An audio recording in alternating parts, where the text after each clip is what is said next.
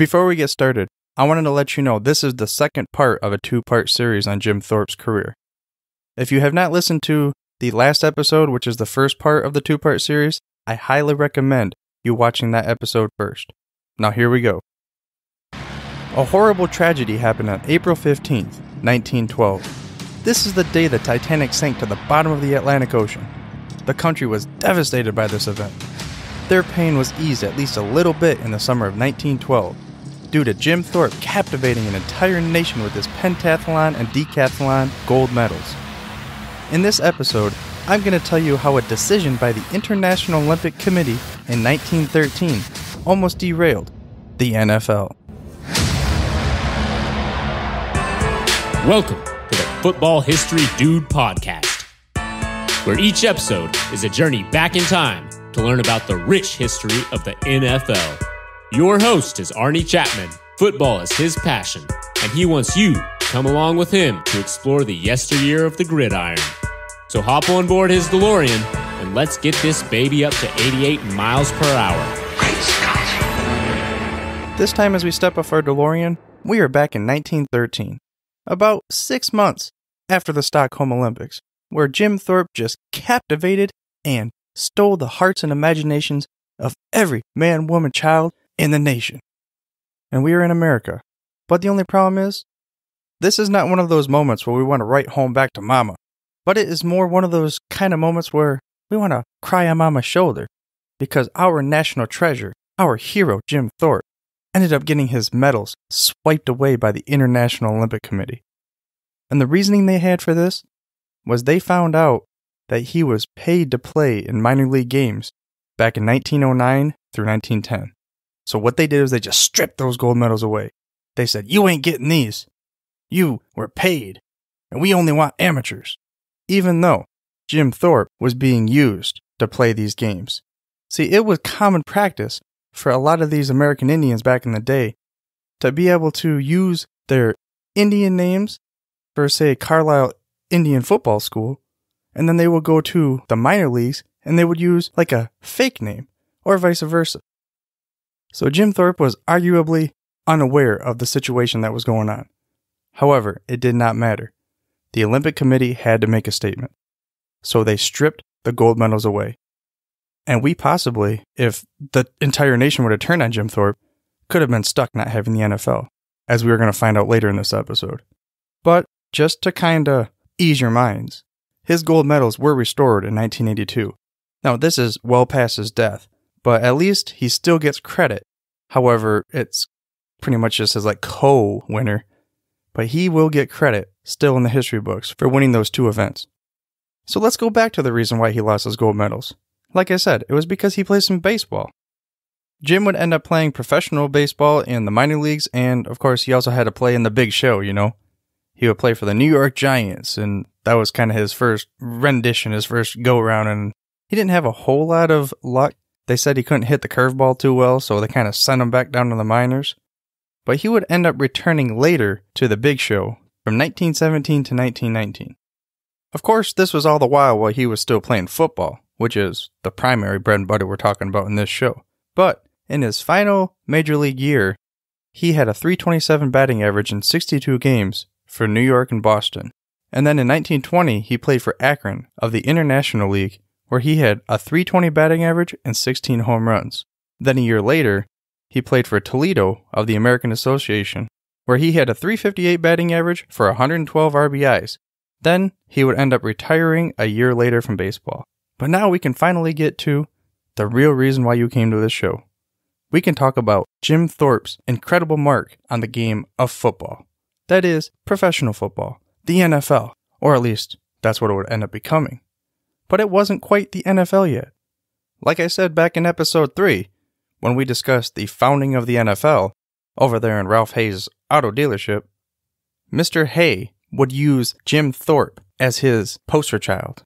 The guy that he would hopefully unleash into the world and create a market for professional football. Again, college football reigned supreme at the time. There was no room for professional football. We don't care about a bunch of guys running around and getting paid to do this thing. We want to see the heart and soul college football, the ranks, you know, the teams. send my kid off to college and that kind of thing. But really, this is the beginning of what professional football will become, what you and I now know as the NFL. But kind of going back to the beginning of Jim Thorpe's professional football career, it would start there in 1915. An article from the Pro Football Researchers Association said that Jim Thorpe was coaching the running backs at Indiana University when Bill Gardner, who was once a teammate at Carlisle, would go to Jim and offer him a contract that he could not refuse. It would be $250 per game, which at the time was just, we've talked about this ludicrous amount for other players. This was just insane. And the contract would be to play for the Canton Bulldogs. So, this is where it all began. And the fans thought that the Canton Bulldogs owner was just crazy. What the heck is Ralph Hay doing? It doesn't make any sense.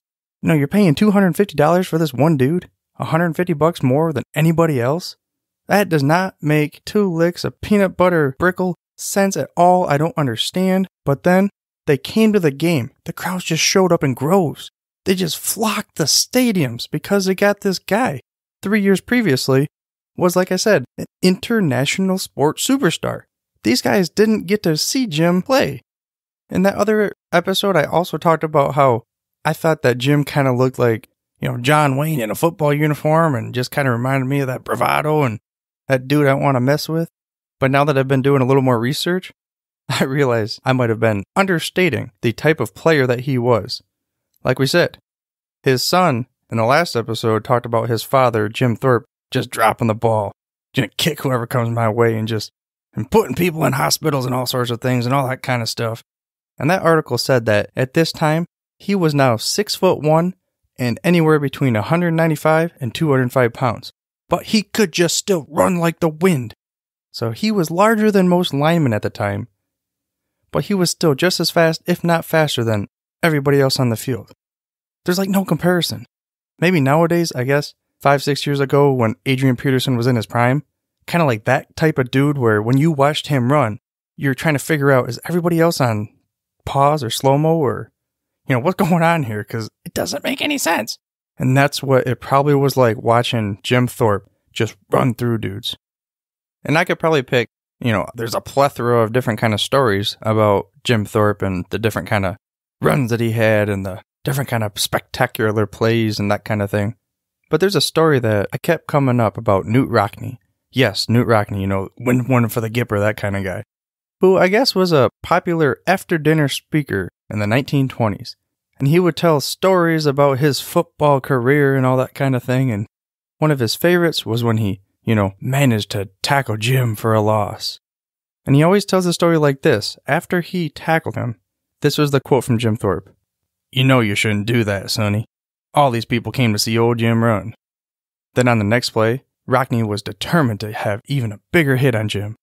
Instead, Thorpe lowered his shoulder and leveled Rockne. then he ended up running for a 40 yard touchdown. And then it shows, you know, picture of Rockne getting all dazed and that kind of thing and being carried off by two people. And Jim ran over to him and said, That's good, Sonny. You let old Jim run. To kind of go along with the whole John Wayne theme, there was a movie called The Searchers back in 1956, where, you know, some kind of altercations and stuff were going on between this one dude and John Wayne. And the guy ends up kind of, I thought a little bit crybaby ish, goes, I hope you die, or something like that. And he goes, That'll be the day. Kind of along the same lines here, where Jim Thorpe just goes, That's good, Sonny. You let old Jim run. So I'm not really going to talk about individual games or statistics or anything like that, especially considering official stats didn't even occur until 1934 for the NFL. But as far as skills go, from an individual perspective, now they said maybe Bronco Nagurski could run with more power or Red Grange has more speed or those kind of things. But if you were to put an entire package together of an individual, I don't know if anybody could have ever even touched what Jim Thorpe had. I mean, he had the running skills, the blocking skills, defending, you know, punting, kicking, passing, everything. No one came close to combining all of these into one utility knife of an individual. I mean, he would run with ferocity, he would block with authority, and he made bone jarring tackles. Now, if you out there play Madden, I would say his rating would probably be 100. They're not stopping at 99 like they do. They're just going to go ahead and give him an honorary 100 rating in the Madden game. all of the attributes, topping out the charts. And to kind of sum this up in the words of a former president, there was a quote from Dwight D. Eisenhower, and it goes as such As one who played against him in football more than 40 years ago, I personally feel no other athlete possessed his all around abilities in games and sports. End quote. I mean, one of the things that they said he did was at halftime, he would often demonstrate his kicking prowess, where he would place kick from the 50 yard line one way, and then he would turn around and he would drop kick it for the goalpost the other way. It's just like, come on, man. Just at least pretend like you're not good at this stuff so it makes the other guys feel better about themselves, you know? And that team that he played on, you know, the initial one, the Canton Bulldogs, pre NFL, he ended up winning the championship in 1916, 1917, and 1919. And he was unparalleled as far as the gate attraction. I was trying to think about nowadays and if there's like an individual that causes people to go to a specific game as opposed to just, you know, the whole team. And it, it kind of coincides with what's going on today in the NBA. LeBron James. It doesn't matter where that guy goes. He has fans that basically it's whatever team LeBron's on, that's the team they're a fan of. I don't know if you know this clip from Saturday Night Live where Chris Farley played a guy, a character named Mick Foley, but he's all like, there's you, there's me, there's you, there's me. And then he ended up crashing into this table. It was like, these fans are all, there's LeBron, there's me, there's LeBron, there's me. And now they get to try to figure out where he's going to go next time, you know, the D decision part three. But that was kind of like what it was for Jim Thorpe. He did end up going to various different teams in the NFL, but no matter where he went, he was the draw. He was still this mythical, legendary phantom, kind of, because it's like, like I said before, you don't have TV. Couldn't watch him just on the air. You could listen to the radio. But even then, they weren't broadcasting radio games and stuff like that. You had to read about it in the papers after the fact. We can run your imagination wild about this Minotaur or this. I don't even know if I want to call him Thor or Zeus or. I don't even know what I want to call this guy. What's a god that, you know, better than everybody? I guess that's Zeus, right? He's a king of gods. So that's him. He's Zeus. Dang, I gotta quit calling that other guy Zeus. He is officially now Zeus. And Ralph Hay was like Jimmy Hart for Hulk Hogan. He was this big promoter, you know, his manager. And he recognized that he had the credibility and big name showmanship, kind of like Hulk Hogan did. So what he would do is he would invite Jim Thorpe with him on that fateful meeting in his showroom on September 17th of 1920. And the outcome of this meeting, they would name Jim Thorpe as the league's first president. Yes, Jim Thorpe, the Zeus of the NFL. Oh, wait, it wasn't called the NFL back then. It was the American Professional Association, which would end up becoming the NFL, but at the time, he was the first president. And the reason, again, was because he had the credibility. And without Jim being the first president and being in this league, it's very possible that we never would have had the NFL. But before we go any further, I wanted to remind you, you can head over to thefootballhistorydude.com slash episode 13 for the show notes. And if you haven't done so, please mash that little subscribe button on your podcast player of choice. That way you get the freshest, hottest off the press episodes each week to your inbox. So getting back to Jim Thorpe's professional career, he would end up playing for six different teams in his pro career, including organizing, coaching, and playing for the Oorang Indians, which was a professional football team comprised of all American Indians. And at halftime, I guess the players would perform different kind of war dances and other rituals to entertain the audiences. But I cannot express enough how important the participation in the NFL that Jim Thorpe was. And he would end up winning many awards that would kind of recognize how much of an impact he had in this sport. But one thing I wanted to point out was he was just an overall just great athlete. One of the things that they mentioned was he was also a great billiards player and he even won a national ballroom championship. So it was like no matter what this guy touched, he was just amazing at. And after his football career was over, he ended up working as an extra and stuntman in movies, and he appeared in more than 60 films between the years of 1931 and 1950. He was even the superintendent of recreation in the Chicago park system. He would even have stints as a public speaker and lecturer, and he led an all Indian song and dance troupe called The Jim Thorpe Show. Then he would serve as a merchant marine starting at the age 58. And to kind of commemorate the whole entire life of Jim Thorpe, there was a 1951 movie called Jim Thorpe, All American. And as I did my research, I found that they're going to have another Jim Thorpe movie coming up, where Martin Sensmeier is going to star as Jim Thorpe. So, getting to some of those awards that I was talking about, there is now a Jim Thorpe Award that is given out to the most outstanding defensive back in the college ranks. Another award that he got was on the all time NFL team. His nickname is The Legend. Back in 1950, the nation's press selected Thorpe as the most outstanding athlete of the first half of the century. Then, what I consider even more impressive is the ABC's Wide World of Sports awarded him the best athlete of the century. That's the entire 100 year span between the 1900 and 2000 year. And it wasn't Michael Jordan. It was not Babe Ruth. It wasn't Muhammad Ali or any other athlete. They recognized that Jim Thorpe was the most outstanding, best athlete of the entire century. So, of course, he was inducted to the National Football Hall of Fame and Pro Football Hall of Fame inaugural classes. He also would be inducted to the National Indian Hall of Fame, the Pennsylvania Hall of Fame, the National Track and Field Hall of Fame, and I'm sure I'm missing how many more, where, like I said, he was Zeus. And they broke the mold with this guy. If I could go back and take his DNA and recreate a human being to be able to field an army of players in any sport, that's probably going to be the guy. And if you're able to ever go to the Pro Football Hall of Fame, there's going to be a Jim Thorpe statue at the entrance welcoming you, which basically tells it all for me.